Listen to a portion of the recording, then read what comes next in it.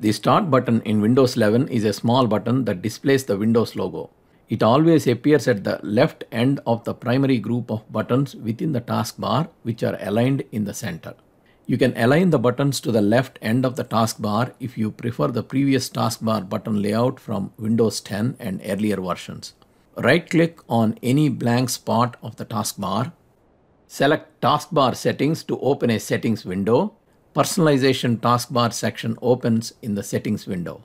Scroll down to the bottom of the window to find the taskbar behavior section. Click on taskbar behavior. This section lets you edit various behavioral settings of your taskbar such as its alignment, badges, visibility and more. Click the drop down beside taskbar alignment. Windows allows you to choose from two different alignments for the start menu, left and center.